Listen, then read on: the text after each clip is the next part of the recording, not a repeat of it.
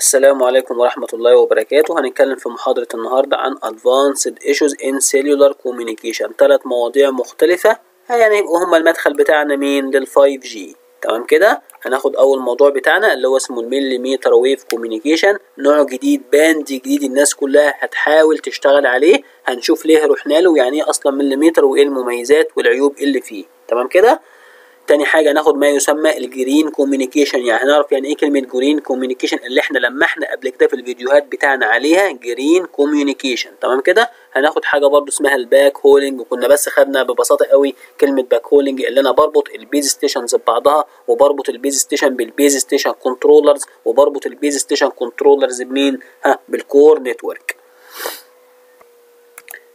أول موضوع هنتناوله النهارده في محاضرتنا اللي هو إيه, إيه هو الملي ال millimeter wave communication إيه هو range ال millimeter ده اللي إحنا رحنا له جديد ورحنا له ليه؟ ال reference بتاعنا قدام حضراتكم بحيث إن اللي عايز إيه يستعين بيه reference محترم جدا في الموضوع. تمام كده؟ اسمه 5G mobile and wireless communication technology بحث منشور سنة 2016 تبع Cambridge University بنتعرف بس يعني إيه هو ال millimeter wave frequency band. هنا بيعرف لي ال millimeter waves refers to the waves at frequencies from 30 gigahertz to 300 جيجا هرتز. فاكرين محاضرة ال GSM لما شفنا ال band ين بتاع ال GSM؟ كنا عندنا ثلاث بندات اللي هو إيه؟ تمام كده 900 و1900 و1800 كان في ملحوظة كده قلناها قلنا إيه ساعتها؟ high frequency give high bandwidths فاكرين إحنا فاكرين الكلام ده؟ High carrier frequency allow us to have high bandwidths. فدلوقتي الناس كلها لما بتروح لبندات جديدة أكيد بتروح للبندات العالية اللي هي كام؟ ها بنطلع فوق. كل ما نكون عايزين frequency بنطلع في ال spectrum فوق. تمام كده؟ فال range اللي الناس بتتكلم عليه دلوقتي ال millimeter wave frequency band ده من 30 جيجا ل 300 جيجا هرتز. تمام كده؟ هو هنا بقى بيقول لي ال velocity بتاع ال electromagnetic wave is constant ال velocity طبعا ثابتة 3 في 10 اس 8 متر في الثانية. يبقى أنا لو أنا عايز اعبر أعبر عن ال wave أو عن ال millimeter wave ب wavelength هقول إن هي ال millimeter wave have wavelengths between 10 ملم ل 1 ملم لما نيجي نشوف بقى دلوقتي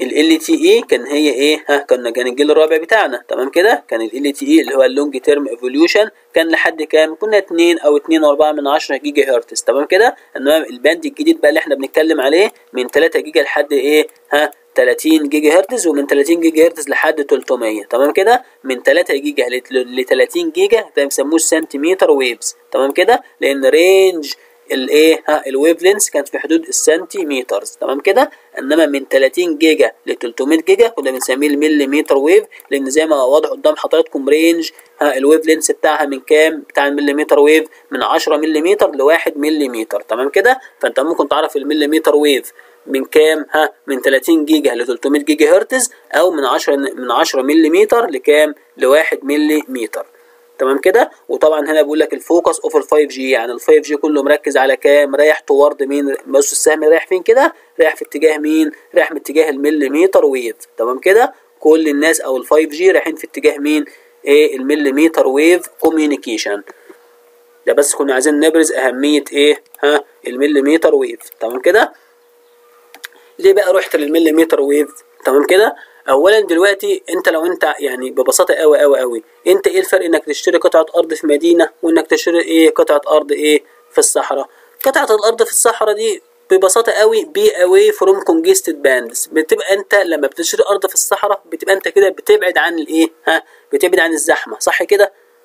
بتبعد عن الزحمة. انت كده بتبعد عن الزحام عموما. فنفس الكلام ده بينطبق على ال communication. لما دلوقتي أنا أروح لل millimeter wave band جديد لسه ما حدش اشتغل فيه فأقدر أعمل إيه؟ أنا كده هكون بعيد عن الدوشة والزحمة. بعيد عن الدوشة والزحمة في ال communication عندنا يعني ب noise أقل يعني security أعلى يعني interference أقل.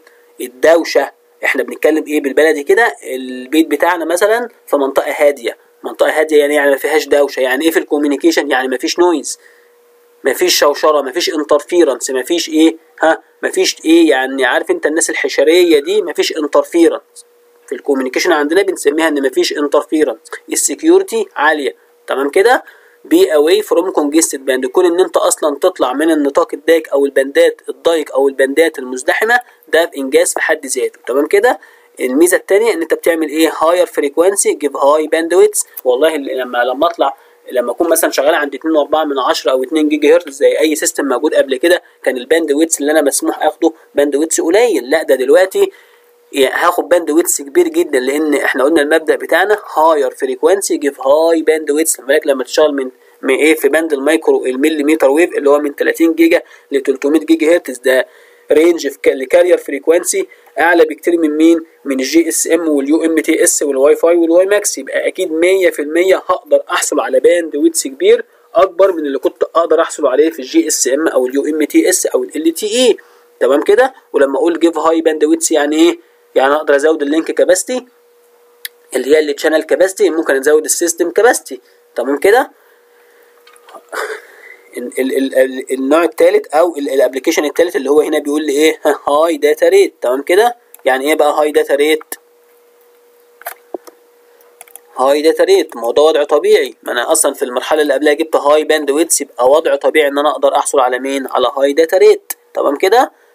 ده في نوع في ميزة هنا كمان opening opening new electronic industry يعني إيه opening new electronic industry دلوقتي هو الناس بتوع ال communication شغالين لوحدهم. لا لما يشتغل على band هيبدأ بقى يتكلم الناس بتوع ال electronics والشركات اللي هي بتعمل آه مثلا electronic circuit وال electronic device اعمل لي والله handset عده تشتغل عند تردد كذا كذا. عايزين بيه نطور ال base station وال power amplifier بتاعها وال physical cables بتاعتها والإنترنت بتاعتها إن هي تشتغل عند ال band الجديد. فتقريبا بيفتح كده إيه بيفتح مجالات عمل وفرص عمل وشغل research ليه؟ لناس تانية مش لازم يكونوا communication ناس بيخدموا على ال communication أو إن هم برضه مستفيدين من النهوض بال communication opening new electronic industry هتلاقي صناعات إلكترونية فتحت هتفتح فرص عمل هتفتح مجالات كتير هتفتح هتفتح أسواق كتيرة لناس تتنافس فيها. opening new electronic industry ده مرتبط بمين؟ بإن أنا أروح ل band جديد لأن إن شركات ال electronics كلها هتبدأ تطور نفسها تعمل لي devices electronic devices و electrical devices تشتغل عند التردد الجديد بتاعي. تمام كده؟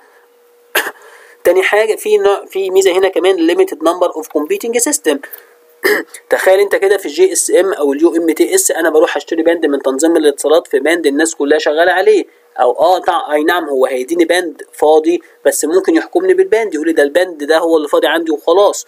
ليه؟ والله ال band اللي قبلك يا باشا مشغول وال band اللي بعدك برضه مشغول. تمام كده؟ إنما لما أنت تروح ل band جديد فأنت ممكن تشتري bandwidth براحتك مفيش أي مشكلة. مفيش أي limitation كمان على ال band اللي أنت هتشتريه. وده الفرق إنك ب... يعني إيه الفرق؟ إنك تشتري قطعة أرض في وسط البلد وإنك تشتري أرض في الصحراء. اما تشتري قطعة أرض في وسط البلد هتلاقي مساحات محددة. كمان 170 متر 150 متر مساحات انت غصب عنك محكوم بيها. مفيش غير كده. انما لما تروح تشتري أرض في الصحراء لا ده انت هتقدر تشتري مساحات لأنها كلها فاضية. تمام؟ هتشتري مساحات زي ما انت عايز والدولة كمان هتشجعك إنك تشتري فيها لأن هي عايزة إيه؟ ها عايزة تعمر فيها ومش كده وبس. هتلاقي السعر الأرض هناك كمان إيه؟ رخيص. تمام؟ هي أرض فاضية. تمام كده؟ فده هنا كمان limited number of competing system يعني لما تروح ل range ال millimeter wave ده band جديد لسه ما حدش اشتغل عليه فتقدر تشتري bandwidth زي ما انت عايز.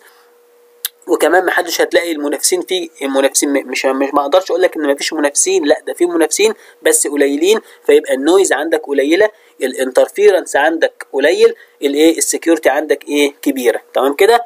small cell size give more frequency use ال millimeter wave دي فيها ميزة وعيب. الميزة بتاعتها إن أنا ال high frequency give high bandwidth بس عيبها إن هي بتبقى ضعيفة ما أقدرش أوصل ل range كبير. ده في ال communication يعتبر عيب بس في ال cellular system يعتبر مش عيب. ليه؟ لأن أنا أساسا نفتكر لما جينا نتكلم عن ال WiMAX وال LTE قلت لك range ال WiMAX يمتد ل 50 كيلو متر وال LTE تمتد ل 100 كيلو متر ولكن أنا مستحيل أعمل cell 50 كيلو متر أو 100 كيلو متر عشان ال frequency reuse تمام؟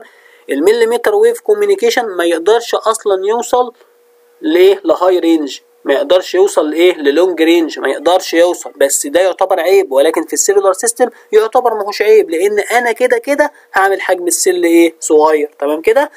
فهنا إيه؟ بيقول لك small cell size give more frequency reuse لما تستخدم ال millimeter wave communication أنت كده كده غصب عنك هتعمل إيه؟ حجم ال cell صغير. لما اقلل حجم ال cell يبقى أنا عملت power efficiency في ال handset عملت power efficiency إيه في ال base station لأن قربت ال transmitter من الريسيفر تمام كده؟ عملت frequency reuse تمام كده؟ وعملت حاجات كتير قوي. ممكن إيه نرجع للفيديو بتاع المحاضرة الأولى ونسترجعها مع بعض.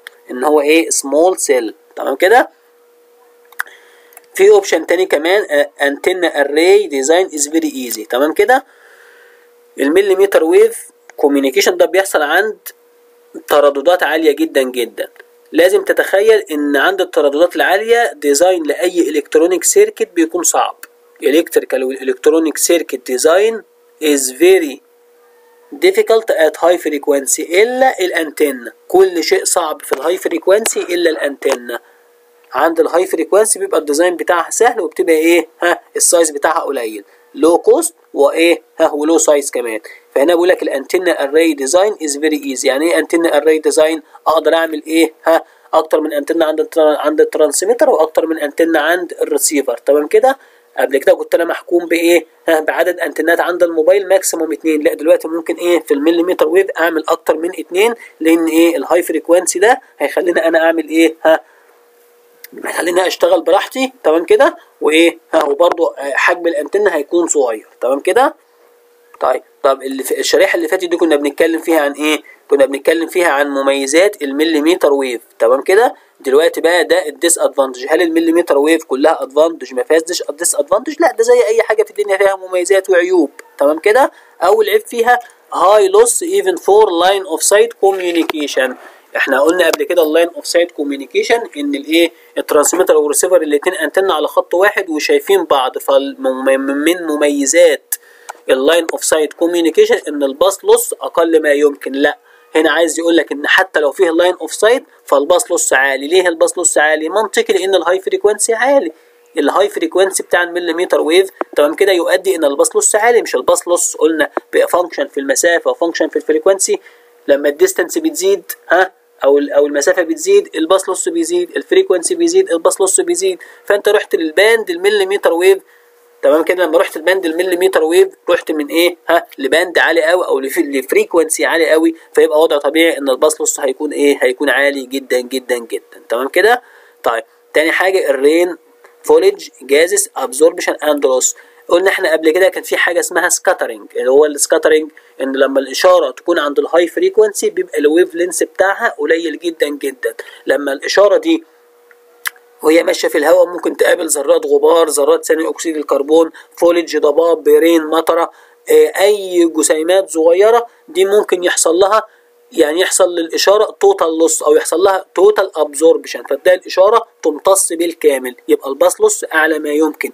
لما كنا بنشرح ال scattering قلت لكم مش هنحق مش هنقدر نفهم ال scattering ده بالتفصيل إلا لما نروح عند ال high frequency العيب الثالث في ال millimeter wave اللي هو بيقول إيه؟ diffused scattering at non uniform reflector. يعني إيه الكلام ده؟ فاكرين زمان كان في حاجة اسمها reflection تمام كده؟ ال reflection ده يعني إيه؟ ال electromagnetic wave تصطدم بجدار أو بمبنى حجمه كبير فتنعكس كلها بس يرجع إيه؟ ترجع للريسيفر تاني. لا النهارده بقى الحاج الجسم الكبير ده تمام كده؟ لو الاشاره ال millimeter wave سقطت عليه هيحصل لها scattering هيحصل لها diffused scattering يعني مزيج من ال diffusion وال scattering ليه؟ لأن الجدار ده مش هيبقى سموث هيبقى فيه أي irregularity أي irregularity أنت ما تحسش بيها فإشارة ال millimeter wave ضعيفة هتقدر إيه؟ ها تيجي عندها مش هيحصل لها reflection ده هيحصل لها diffusion ويحصل لها إيه؟ scattering ونرتب كده الإشارات مع بعض قلنا أقوى إشارة توصل اللي هي مين؟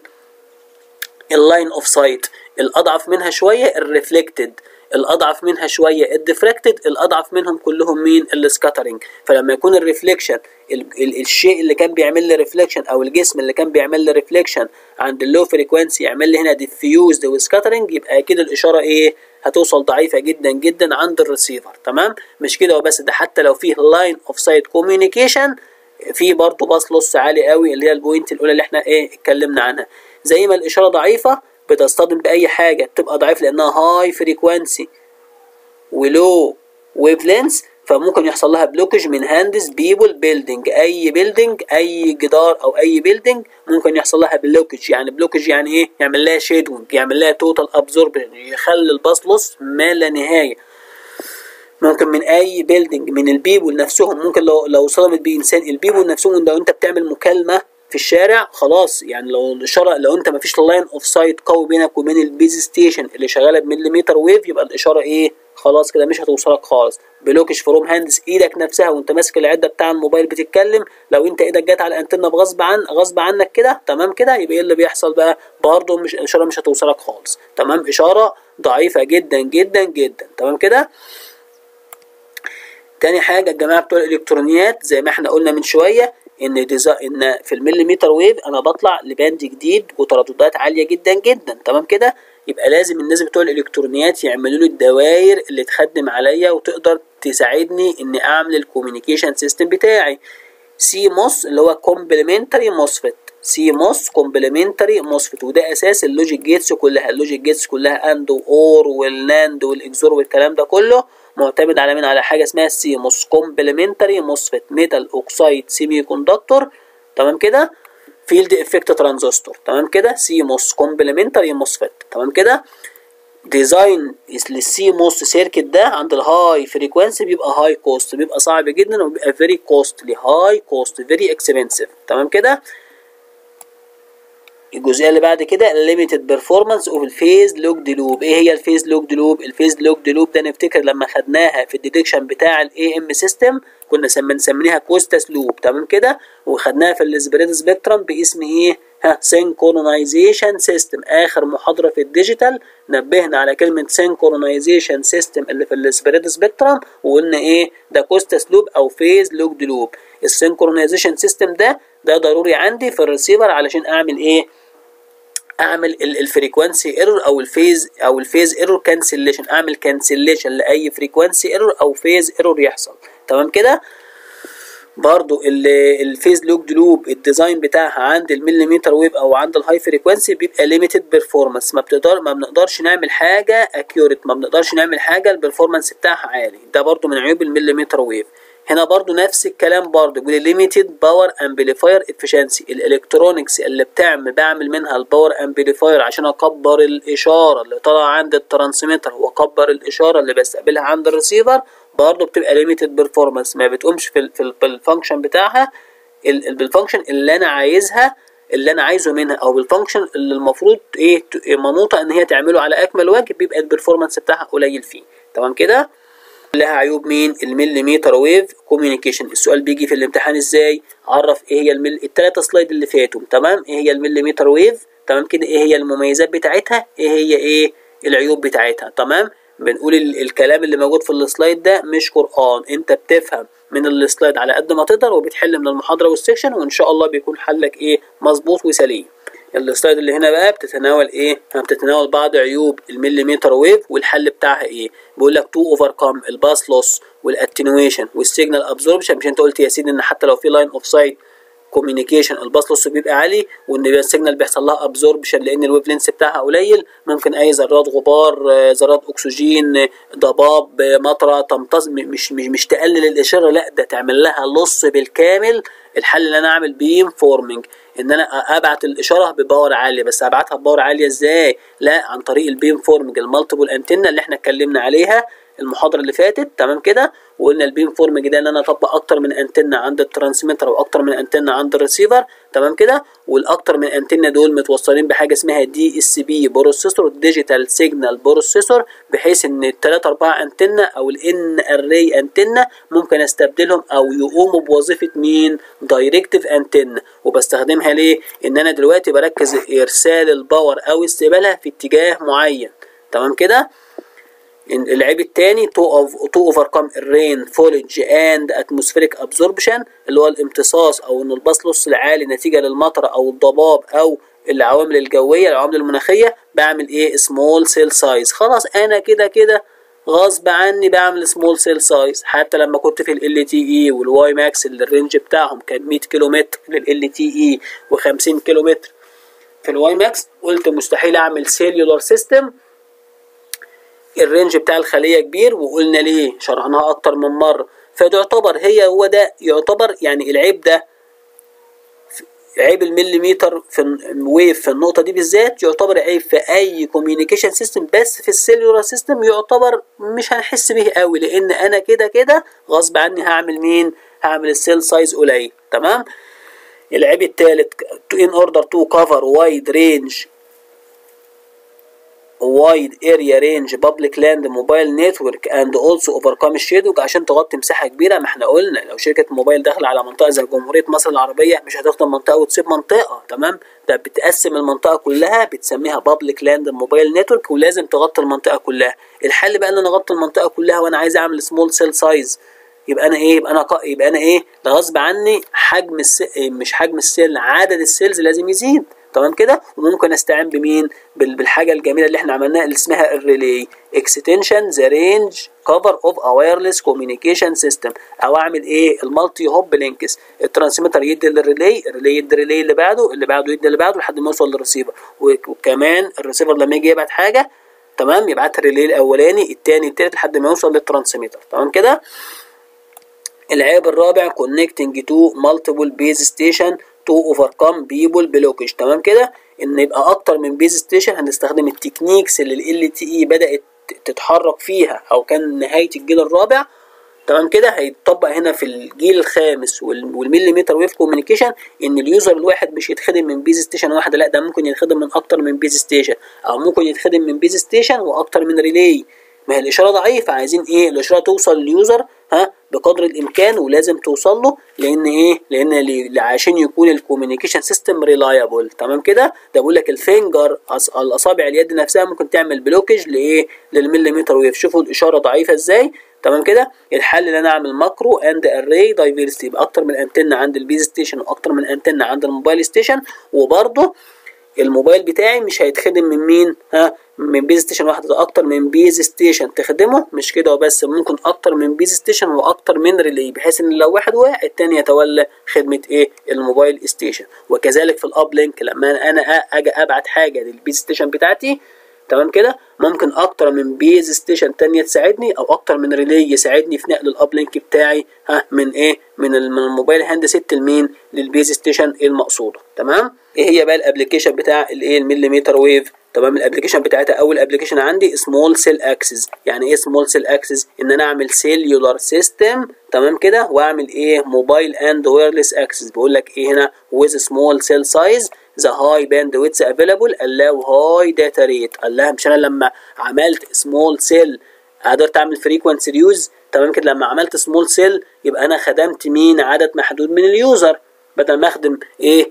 1000 user هخدم 100 أقلل حجم ال cell كمان بدل ما أخدم 100 أخدم 10 يبقى ال bandwidth بتاعي أنا لما يخدم 10 user في ال small cell يبقى أحسن بكتير أما يخدم مين؟ أما يخدم 1000 user. تمام كده؟ يبقى هو بيقول لك هنا with small cell size the high bandwidth available allow high data rate. خلاص عرفنا الكلام ده وعرفنا ليه small cell وأنا كده كده مش هحس بالعيب بتاع ال millimeter wave في ال cellular system لأن كده كده حجم الخلية هيكون قليل. تمام كده؟ بيقول لك cellular access إيه ال cellular access بقى؟ بيقول لك based on relay باستخدام الريلي it can provide a broad coverage ال cell size 200 متر at 28 جيجا هرتز و38 جيجا هرتز أشهر band ين الناس شغالة عليهم ك research وك application في ال millimeter wave اللي هم 28 جيجا وال 38 إيه جيجا هرتز وفي range تقريبا 73 على ما أتذكر يعني 73 جيجا بس ال research فيه قليل شوية بس التركيز كله على مين؟ على 28 جيجا أكتر. أكتر range مشهور حتى الآن في ال millimeter wave ال 28 جيجا هرتز بيقول لك إن ال cell size ال radius ما يزيدش عن 200 متر. تمام كده؟ طب أ... طب أعمل extension إزاي؟ ممكن نعمل extension بال relay تمام كده؟